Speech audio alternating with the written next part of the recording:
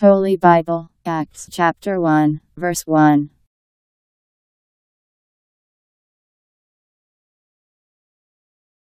I have given an earlier account of Theophilus of all the things which Jesus did and of his teaching from the first.